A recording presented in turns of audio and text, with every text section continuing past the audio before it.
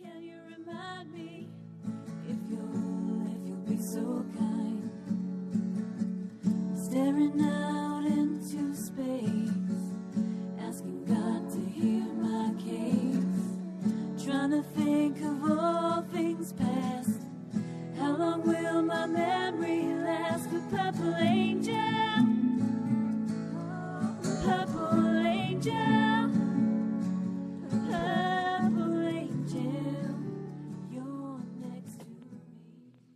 Well, hi, everyone, and welcome to Alzheimer's Speaks Radio. I'm Lori La Bey, and I'm the host and founder of Alzheimer's Speaks. Before we get started with our fascinating conversation this afternoon, I always like to just give people a little bit of information about Alzheimer's Speaks because we're always getting new listeners, which is so fun. Um, so, briefly, um, who we are and what we do. Um, bottom line, Alzheimer's Speaks is an advocacy based company providing multiple platforms to shift our dementia care culture from crisis to comfort around the world. We believe that by joining forces and sharing knowledge and just having these everyday conversations about life with dementia, that we're going to be able to remove the stigmas attached to memory loss and help those living with the disease continue to live with purpose. Together, we're going to be able to help everyone just have a better understanding because so many of our friends, family, and colleagues and, and people in our own spheres are dealing with this, but they really haven't come out of the closet because they uh, there's so much fear and isolation wrapped in this disease. So, at our core, we believe that collaboration is the only way we're going to win this battle against dementia. And I know it's working because of all of your likes and clicks and shares. You see, each one of you has had such a significant impact on raising Alzheimer's Speaks profile just by sharing our information. Um, we were lucky enough to be um, awarded the number one influencer online according to ShareCare and Dr. Oz. And that happened because you guys, you know, tweeted to your tribe and pushed out to your Facebook friends and your LinkedIn colleagues and your Pinterest peeps. Um, it really, truly is making a difference. And the more information we can have out there in the community, the more likely people will tap into it when they're ready. So I really urge you to continue to do that. Everything we do, um, you know, we want it to be free and accessible for people to grab. And, uh, you know, I just feel so honored to be able to. Um, be able to help raise the voice of so many people who are dealing with dementia in in so many different fashions. Um, today, we are going to be talking with Ben, ben Utecht, who is a Super Bowl um, champion. He played for the Indianapolis Colts and the Cincinnati Bengals, and he is a national leader and motivational speaker, along with being an author. His new book is called Counting the Days While My Mind Slips Away, and it chronicles his miraculous journey into the NFL, his triumphs and struggles, both on and off the field, and the hope he's discovered in the face of adversity. He now travels nationally sharing his, his story and hoping to inspire others to make the most of every single moment before them. And I know that you are going to be um, just so excited to hear his voice and his rich, authentic, authentic voice um, from which he speaks. This is a man who um, won the Ambassadors Award by the Minnesota Brain Injury Alliance, and in 2014. Um, got the Public Leadership um, Award from the Neurological, um, that's the American Academy of, of Neurology which is um, it, which is just incredible. So welcome, Ben. So happy to have you with us today. Well, thank you so much for having me on. Well, I'm I'm excited to hear more about your story. So, why don't you tell our audience a little bit about your diagnosis? Well, it's been an incredible journey. Um, I grew up in a small river town in Minnesota called Hastings, where the Mississippi and the St. Croix River, which comes down out of the uh, Lake Superior, meets. And um, never would have imagined in a million years that I would have ended up uh, playing in the biggest game in the world uh, on the on the night of Super Bowl 41. I think over 100 100 million people tuned in to watch that game, and and uh, it just was so special uh, in so many ways. And um, created so many memories, uh, and it, and it wasn't until my career ended because of multiple concussions and uh, some of the uh, memory problems that I began to experience as a result of, of those concussions and, and having the diagnoses of amnesia. And so, memories for the first time um, in my life, and it's, it's kind of sad for me to admit, but for the first time, um, had value. It, it, you know, we, we just we take them for granted so easily when when we're healthy, but uh, when you experience memory loss on a significant level, you begin to realize that uh, memories are really the the miracles that make you relevant. It's it's it, it what gives gives you meaning and purpose. And uh, it wasn't until I, I began to lose those because of concussions um, that I, I think for the first time in my life realized how incredibly important my mind is to the makeup of who I am.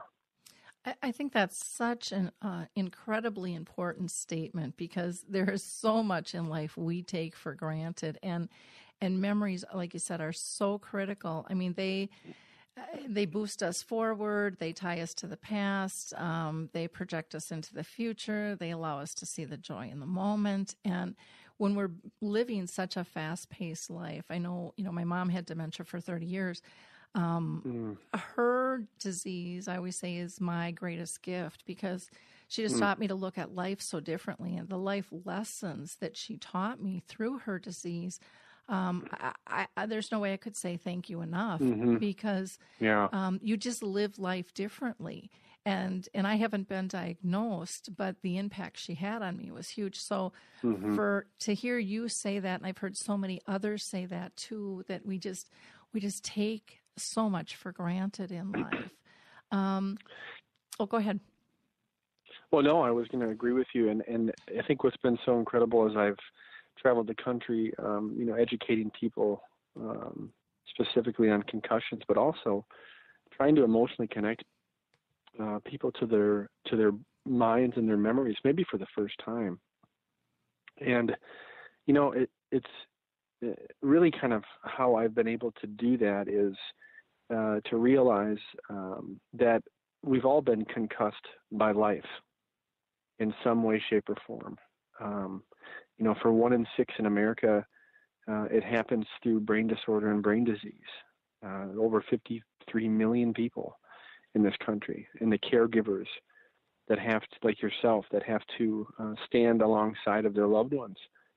Um, and and so we all get knocked off our feet. We all, at times in our lives, uh, feel like we're in, an, in a state of oblivion where we're just kind of spiraling out of control. But I, you know, I, I think what I learned through that is is uh, that we can all decide how we're going to get up. Mm-hmm you know we we we can all we can all decide um, the attitude that we're going to have. And i'm just really happy to hear you say that because i think it's um, I, I, stand along with you in saying that uh, all the injuries that I faced, which were many, uh, and then ending my career with concussions, um, I, I can look back and, and, and see how all of those injuries, because of the way I reacted to them, made me a better man mm-hmm. uh, made me made me realize how much more valuable my life is in so many unique ways and and so I think we can all look within ourselves uh, and find that hope uh, that we can take a bad situation, we can take suffering and trials, and we can turn them into something that can actually uh, bring more value to our lives and make us better. And that's exciting.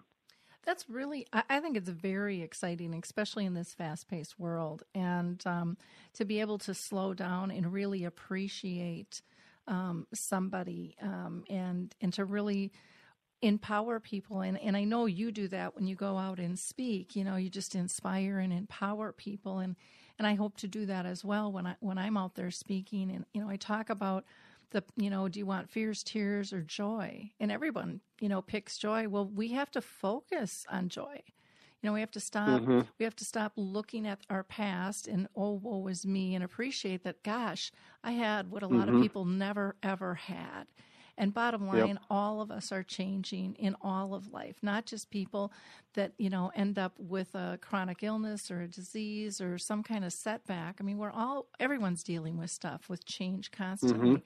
And those fears are what's in the future. And we can worry and worry and worry and go down the rabbit hole there. But then we're missing what's before us. And, and, mm-hmm. and what's before us is the only opportunity to, to find the joy and to mm-hmm. create mm-hmm. it. And yep. and there's so many precious things in life. So many. Um, that, and, and, yeah, I like to. Mm, oh, yep. go ahead. No, I was going to say, I I I kind of like to look at it as though we are uh, we are living memories. Mm-hmm. Is kind of how I communicate it. We're we're living memories because when you really think about the present, the present moment, uh, it it it's so small because it, it immediately goes into the short term, and then the short term turns into the long term, and it, and then it really depends on whether or not we're going to remember it. Um, you know, the moment is always going into the past and it is always going into the memory banks of our mind. And so I just it, it just hit me so hard as I had to walk away from the game that I love and the game that I started playing when I was in fourth grade. Um, but hit me so hard because I never really looked at myself as as a living memory that that uh, you know what makes me relevant as a man, as a husband, as a father, as a friend, only lives within the things that I can remember mm-hmm. and the things that people can remember about me. And so, um, it's just been it's been wonderful to um, to meet all of the people um, who are battling through um, you know battling through their own um, disorders and, and, diseases and the caregivers and and uh, how many people are out there that just need they, they, they crave hope they crave that that uh, you know that purpose to keep moving forward. So I thank you for your your show and everything that you're doing. Well, and I liked what you just said about you know the creating the moments, in that it's a two way street. It's what you remember, but it's what people remember about you as well. Right. And I think it's so critical. I think one of the gifts about dementia is it forces us to make a choice of you know, people talk about being person centered all the time, but you know, person centered is, in my opinion, um, really about getting back to the core of our relationships and why we're with somebody to begin with. If it's a loved one, if it's someone, you know, we are working for, why are we there? You know, um, you know, hopefully it's to love and support them. And it's not about giving it all away. It's about letting a relationship flow naturally um, so mm-hmm. that it's a two way street. So you are both creating moments and um, both remembering different things and um, and and just being in that place of peace. You know, um, I don't know if you've mm-hmm. seen this, but so often I see people where they they're so scared of silence. And mm-hmm. silence is a really beautiful thing. Just sitting next to somebody that you love or that you're comfortable with and not having to say it, not not having to use words. And right. looking at our all of our communication and that most of it really is nonverbal um, to begin with and learning to tap into that to be a better person um, to be mm-hmm. less judgmental. So I, um, like I said, I'm just so excited to have you with us because I think your story is just fascinating. I do want to ask you, in terms of your book, um, why did you pick the title you did? I always find that just really curious how you came up with your sure. title. Well, I uh, I'm a musician alongside of of having played a, a sport and being a speaker, and uh, it's always been a unique way for me to express myself, and I love writing. Uh, and I was working on a project, and and um, I was challenged by a friend um, to to write the letter to my wife and daughters. I have four beautiful daughters, and to write the letter to them uh, from the perspective of the the the former NFL player who um, because of his concussion history, may may not remember them someday. Mm-hmm. And it was so hard to write. I, I, I remember just thinking to myself, why would I write that? You know, I don't want to go. I don't want to do that. I don't want to. I don't want to spend any time in that in that atmosphere of fear. Mm-hmm. But it was such a therapeutic process, and so I wrote a letter, and the letter turned into a song called "You Will Always Be My Girls." That song turned into a music video, uh, which has since gone viral mm-hmm. after I testified in Congress about the long term effects of concussions. And the first line of the song is I'm in here counting the days while my mind is slipping away.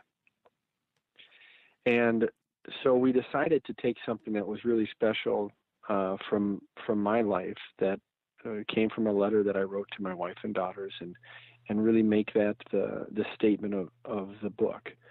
Um, and so it it uh, it it has an ominous um, aspect to it, but really from my perspective as a husband and a father, it it it just it's it's authentic. It's just really comes from I think what some of my greatest fears uh, for the future are.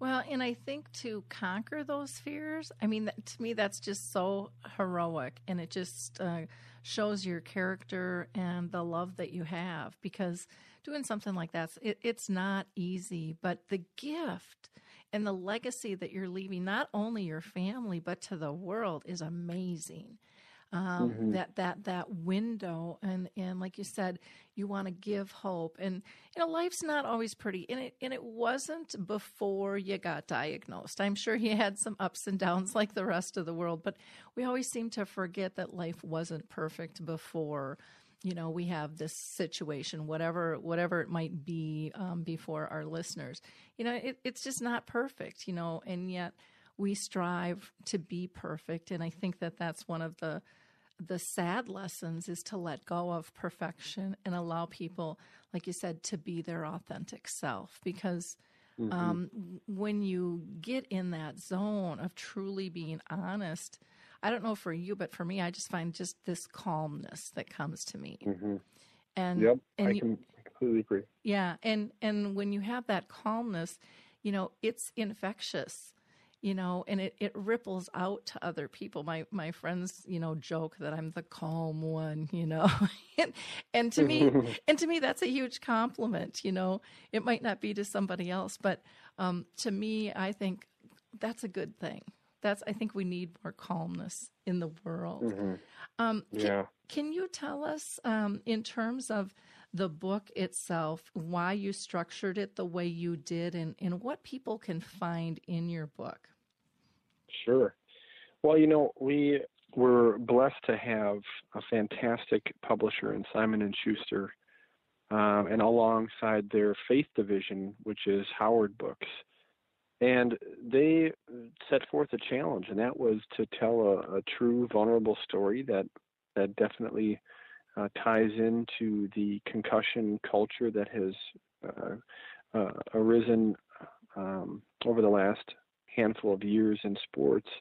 But they also wanted me to. They also, uh, and and I think more importantly, wanted the book to be a lifestyle story. They wanted me to to really share my journey um, from being a you know a small town a pastor's kid grew up playing catch with my dad in the backyard uh, to um, you know to being on a Super Bowl championship field and so that story encompasses so many uh, different um, different elements to life uh, through faith, through family, uh, through football. Many uh, wonderful story between a between a father and a son throughout the book.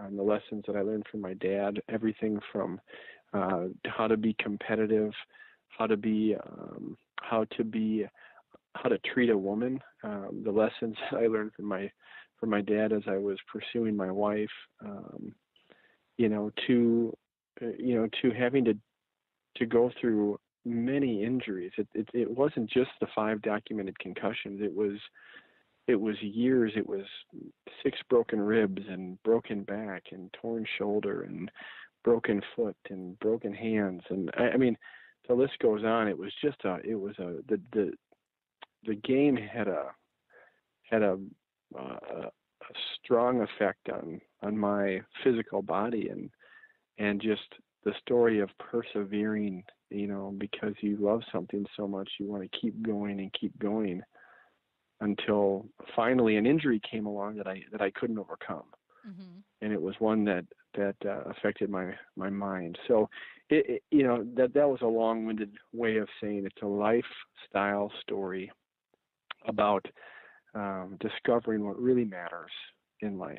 And and uh, when you do that, uh, and you find true value, uh, how it how it changes your purpose, and it actually gives you more purpose. And I, I really think if anything has come out of this book, it's it's been that people have really enjoyed the journey. That it's it's so much more than just football. It's not a football book. It's a life. It's a lifestyle book. Mm-hmm. Well, and I, I think it's so, this whole thing about concussions is just so important. Um, we had Mike uh, on, you know, talking about his brother Dave and, um, you know, the work he's doing in schools. And, you know, it, it really seems like it's starting to get some attention um, that it deserves. And, you know, this is serious stuff. I mean, this is life changing um, things that that we can improve on. And I don't think mm-hmm. sports is ever going to go away. Um, but in mm-hmm. terms of of how we play them and right. um, how we look at the seriousness of of these injuries, I, I think yeah. has forever changed. Um, do you do you see that movement? Do you feel positive that things are are really yeah. happening, or am I living in a bubble?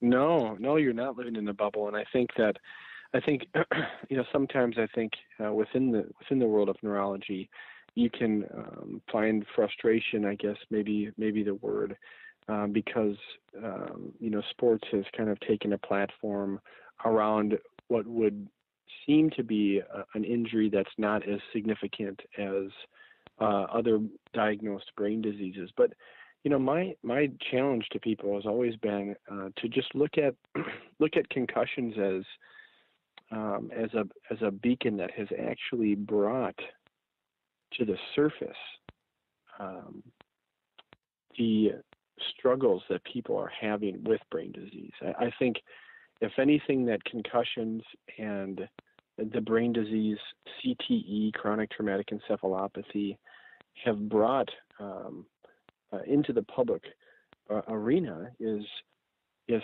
how uh, how many people are suffering from brain disease, and and and so even though it's come through the lens of um, contact sports, we're seeing a culture now beginning to put the brain uh, at a higher priority than it ever has before, and I think that's going to affect neurology uh, as a whole, and because CTE uh, is associated with similar proteins that uh, are found in Alzheimer's and in frontal lobe dementia. And I think we, you know, we are going to be able to really work together um, to find cures because I, I, work with so many neurologists and it's it's so fascinating to hear them talk about how many mechanisms are so similar uh, between brain diseases and brain disorder and they really believe that if you can find the cure for one, uh, you will find the cure for many, mm-hmm. and that's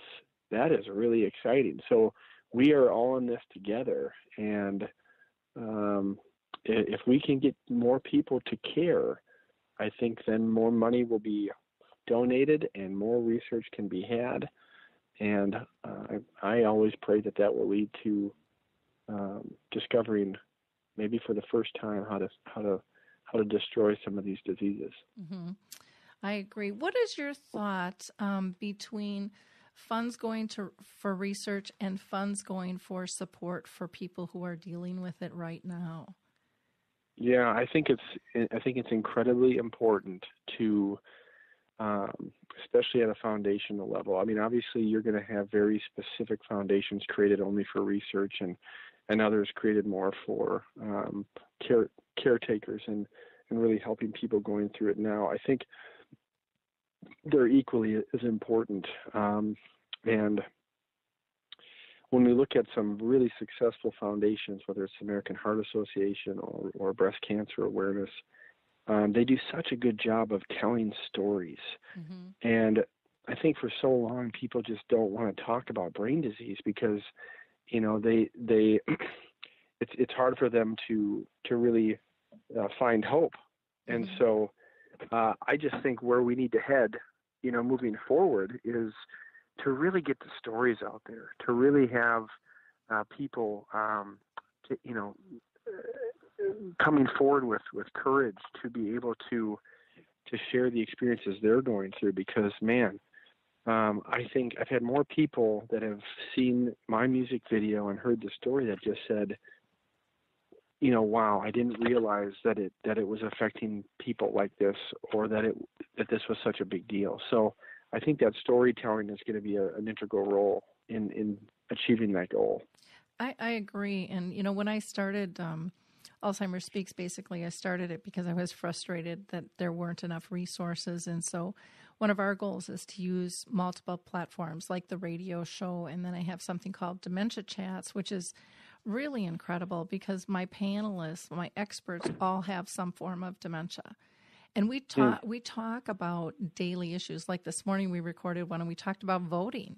And mm-hmm. how do you support somebody f- for voting? Because there's a belief that people that have this diagnosis aren't capable, and many of them are mm-hmm. capable, mm-hmm. but they need assistance, just like someone with that's blind, right. you know, right. with braille and stuff. And so they came up with some fabulous solutions and ideas and it was it's it's always so interesting or the one before that we talked about doctors and diagnosis and support and or lack mm-hmm. of that they get when they when people go in and how do we change that how do we support people to again give hope and not just have this be a death sentence um, mm-hmm. because people are living longer and um, there's a lot of good life to be lived even with a diagnosis of dementia.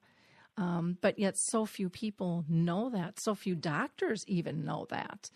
And mm-hmm. um, you know, we really we have to change that whole that whole impact. And I think, like you said, the best way to do that is through actual, authentic stories of people mm-hmm. living um, with the disease. Yes. Um, you know, I love that you're getting out there speaking and um, influencing um, you know, just being one of those um, change um, change elements out there.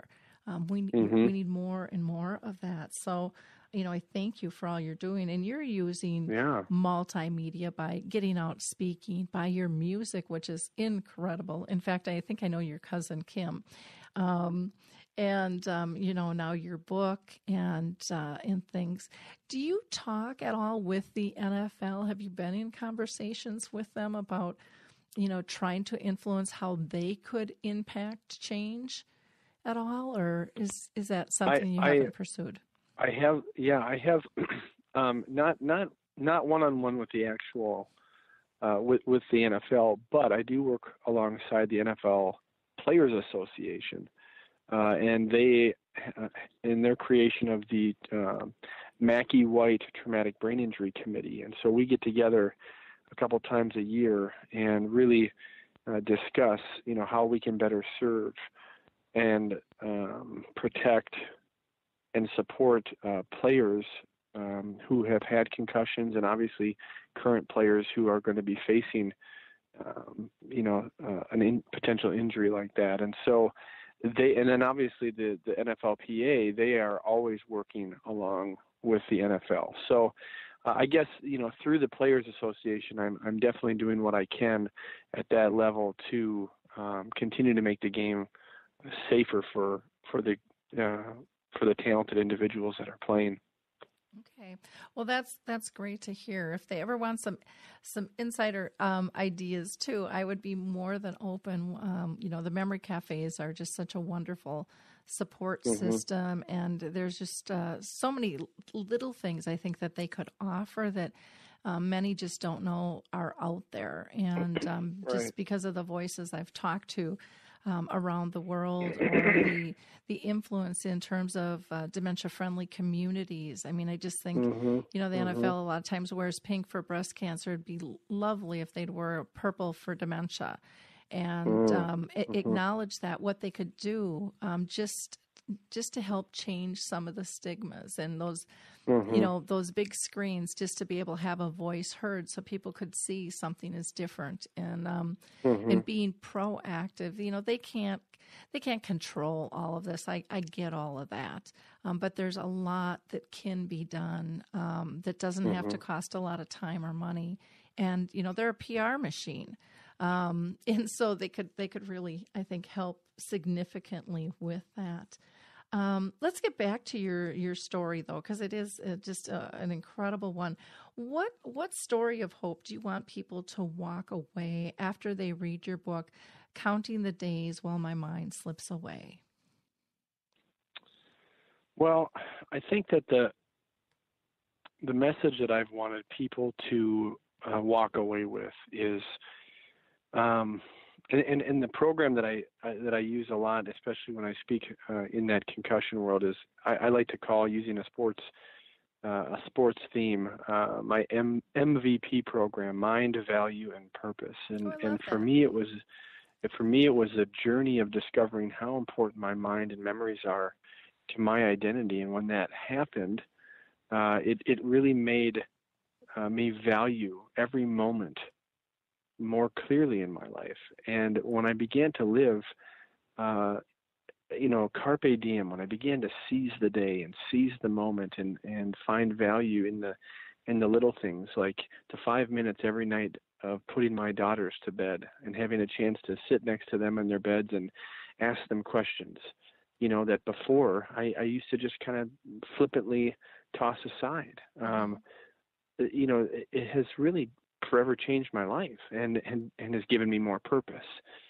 So I, I think we can all relate to that. I think I think uh, everybody that reads this book, again, everybody goes through trials and suffering of their own kind, and so um, I, I think when we're faced with those those times, those challenges, um, uh, we can make the choice to allow it to help us find value in every moment, to seize the day, and to uh, you know to step into a new purpose, and and that actually is going to have an incredible impact on our day-to-day living, and that that is uh, that was the powerful lesson that I myself learned, and I want hope that others will take away. Yeah, and that is a huge, huge lesson. I just think of, you know, what you're leaving your daughters to to look at how you're choosing to live life because so many times people don't think that we have a choice. And we always we always have a choice to live Mhm. a, a bright brilliant life. And and I think the other thing that you know, to me, it seems like uh, in society, people have forgotten about the value of purpose and what that does to your mindset because so many people are just chasing a paycheck and trying to stay on top of their debt or keep up with the Joneses. And when you truly focus on your purpose, all that other stuff becomes not so important and and you're really thriving on making the world a better place not just your world but things in general because of that that ripple effect that it has. And you know that's just such powerful stuff. Um, and and it can be taught. It but more so i think uh, people soak it up just seeing others leading by example. You know you could you could um, you know lecture till you're blue in the face. But when people somebody see somebody actually walking the walk and um, and seeing that boy their their life seems more peaceful. They seem more comfortable. They seem happier you know all of those little things in the midst of what others would say is a tragedy. And not that we don't all have our moments you know where you just want to bang a wall and scream at the top of your lungs um, but for the most part i think there's just that that gift of of calmness and being purposeful and being fulfilled. And i think that that's something very very overlooked in in Mhm. life. And so i i love your m mvp the mind the value and the purpose. I, I think that that's just a that's a really cool way to to look at things. Um Well, and it's and it's great because and and for for anyone listening that's not a, a huge sports fan, I mean that that that uh, signifies most valuable player. Every year they give the MVP award to the most valuable player in the NFL, the player who has given um, you know, given their team the greatest chance for success because of the way they've approached the game, the attitude that they've had. And so I just think that it, it's a nice, I think it's a nice metaphor for how we can all be MVPs in mm-hmm. in in life. We can all choose to uh, to um, to take that honor upon ourselves, and that's that's a that's a, a whenever you can give people the practical and tactical how tos, you know, that's achievable, and that's something that uh, I think gives people hope. Yeah.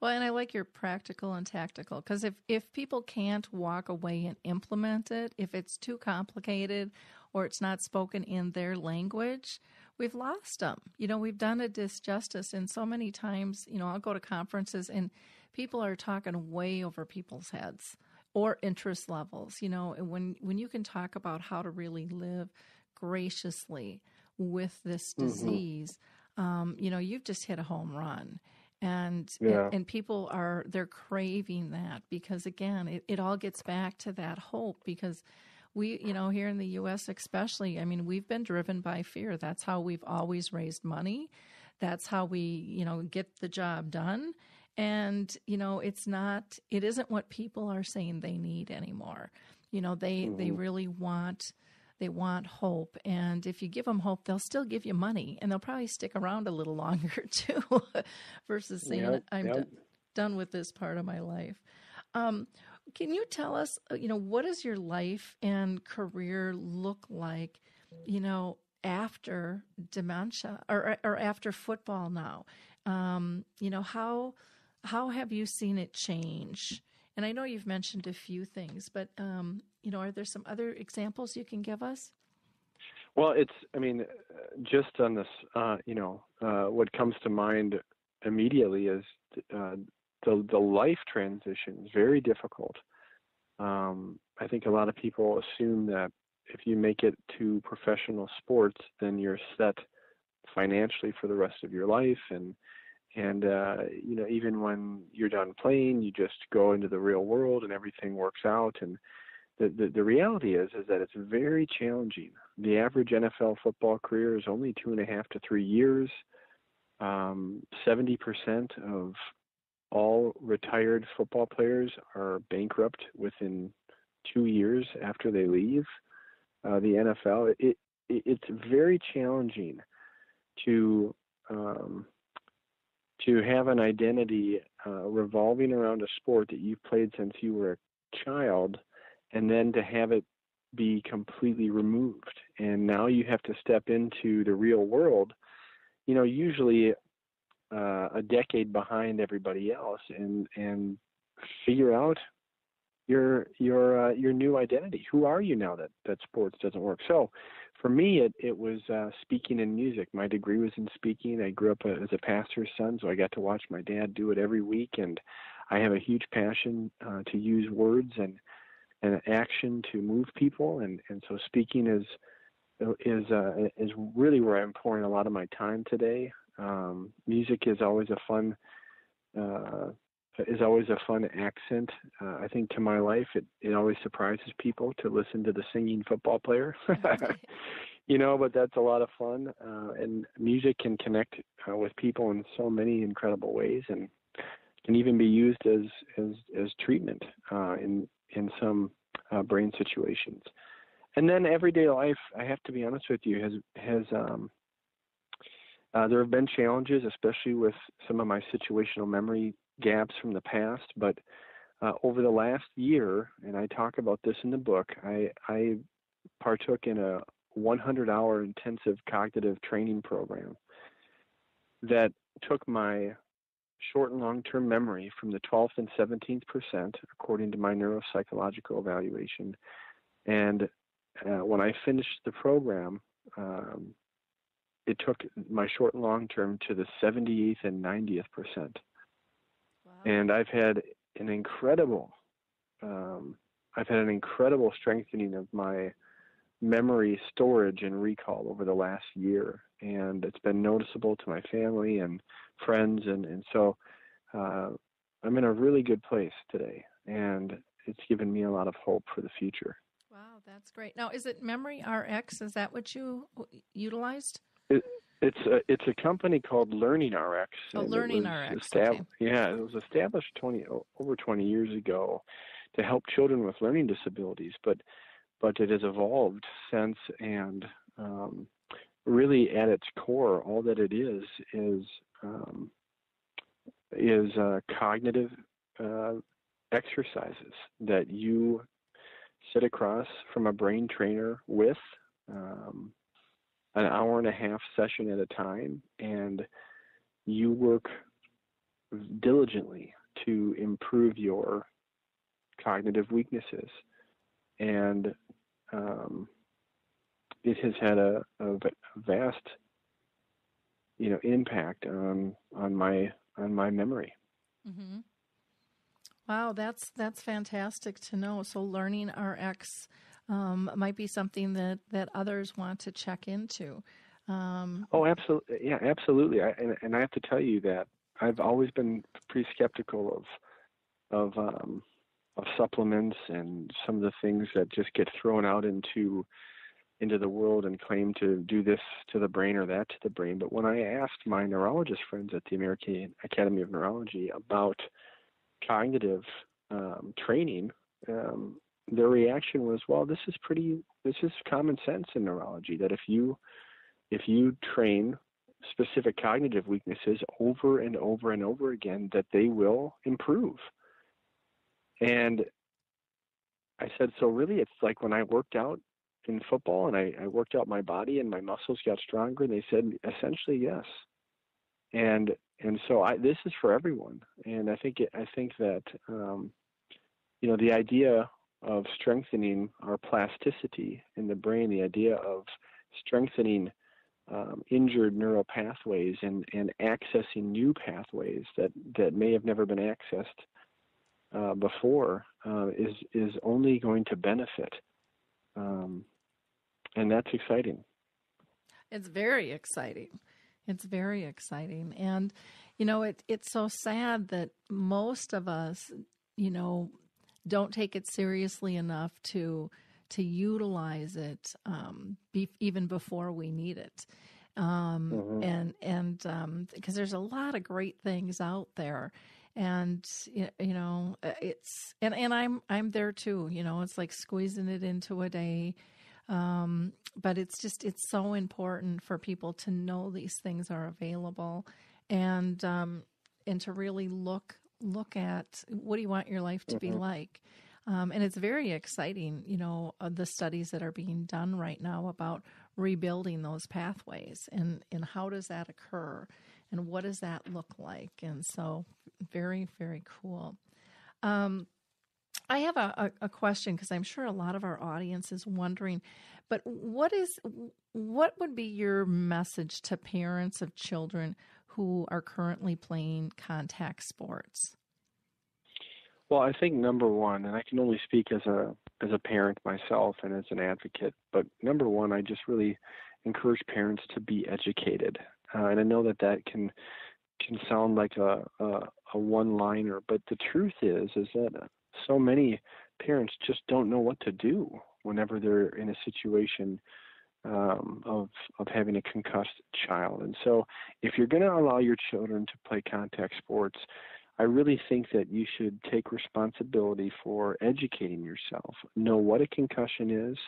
Know what to do if your child faces a concussion. Know where to go and know who to see.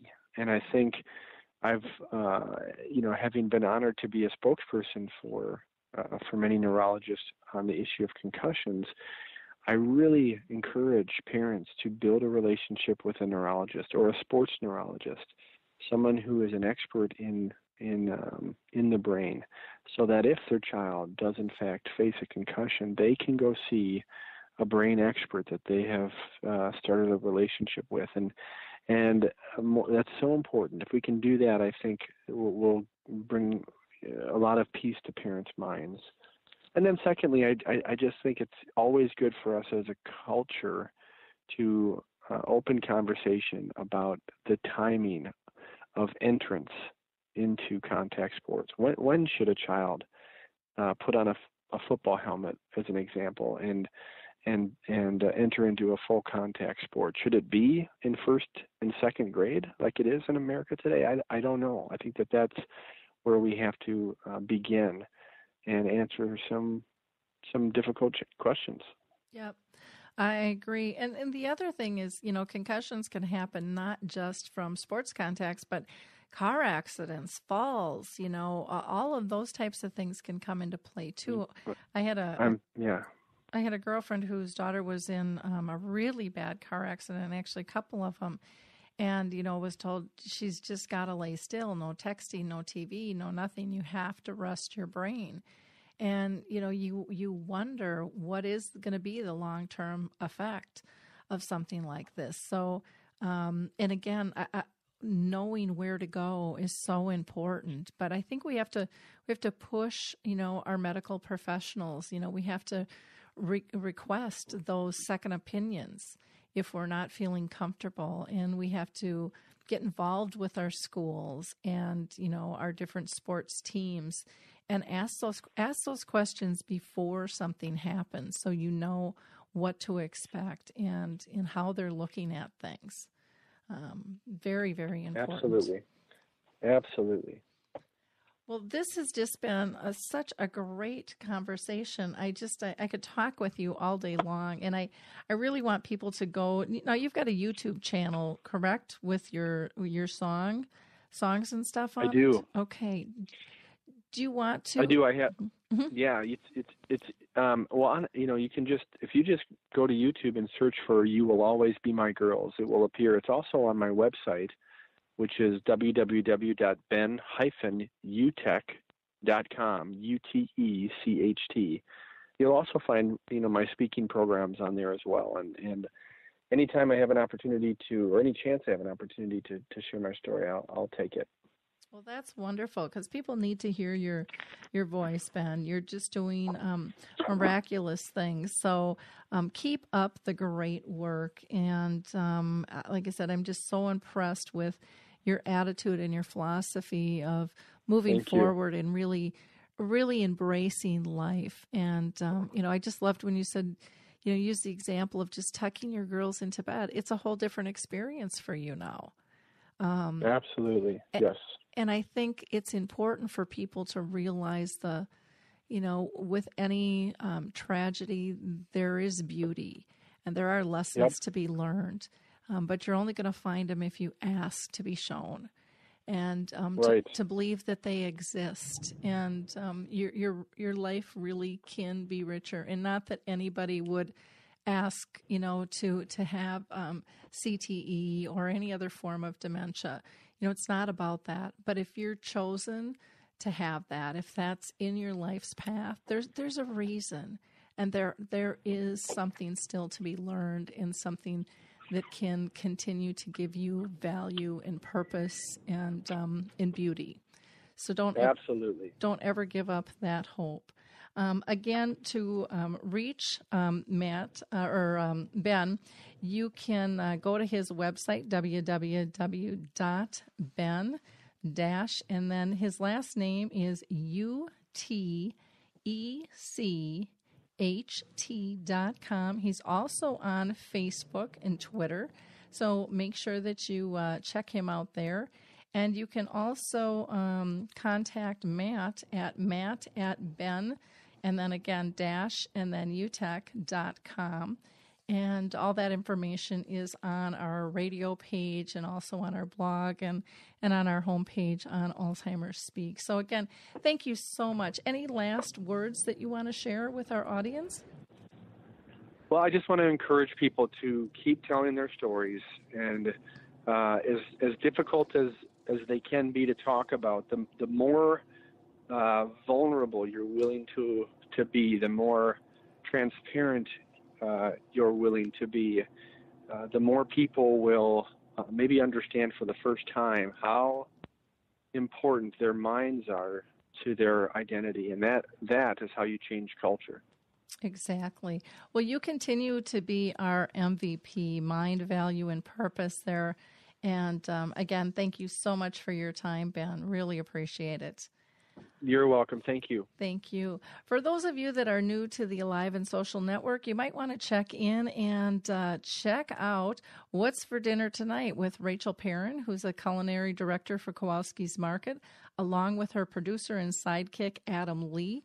They are joined by foodtastic friends and colleagues to chat about seasonal flavors, favorite foods, trending topics in nutrition, and everything that's yummy for your tummy. Their podcasts only average about 10 to 15 minutes, so you can squeeze it in and get some great ideas for dinner. You can also go to www.kowalskis.com to find menu suggestions, and that's K O W A L S K I S dot com. If you haven't uh, had a chance to check out some of our latest shows, uh, we just did one in Living in the Land of Dementia, which is a book by Deborah Shouse. We also talked about living in a dementia community care, and uh, we talked about dementia and coconut oil and what, what is all the buzz. All of our shows are archived, so you can listen to them anytime. Uh, we did just post a brand new Dementia Chats webinar where our panelists all are living with dementia, and we had a fantastic discussion about what happens when someone is diagnosed. How do they get diagnosed? What are some of the changes to the support system that needs to happen uh, to help people living with this diagnosis? Both those individuals and their families. And you're going to hear some shocking yet similar stories and trends and a lot of ideas on how we can change our dementia care culture and improve the lives of so many. Um, we will be having a, a, session in Dementia Chats. I just have to get it edited out on dementia and pets and also the voting process and the impact on dementia. Both fascinating conversations. If you are interested in uh, seeing um, a screening of the, the wonderful Hollywood film, His Neighbor Phil, I'm going to be at uh, Hopkins High School at 2 p.m. on October 30th. I'll be down in Memphis, uh, Tennessee, November 10th, and then at St. Therese in Woodbury, Minnesota, here November 16th. Um, and we would love to have you see that um, film. It really shows the ripple effect this disease has. I also want to point out um, an article that was written by um, Michael Ellenbogen. I, am sorry, it wasn't Michael Ellenbogen. It was uh, it was George Seiler um, who wrote a beautiful, beautiful poem actually called "Ode to Annie." And uh, his wife had passed, and it's just getting great accolades all over the world, and uh, people are sharing that. So check that out. I look forward to talking to you soon. Our next show will be on Thursday, so check it out. Have a great week, everyone. Hey everybody, Jared Sebestier, host of Retire Repurposed. This podcast is dedicated to help people transition into fulfilling and purposeful retirements. Retirement is a big life change. In fact, the two most dangerous years of a person's life are the year they were born and the year they retire. Few people can just flip the switch from working a career 30 or 40 plus years, retiring on Friday without methodical steps to living what we call a repurposed retirement. To listen now, search Retire Repurpose on your favorite podcast platform, Senior Resource, or Life Audio.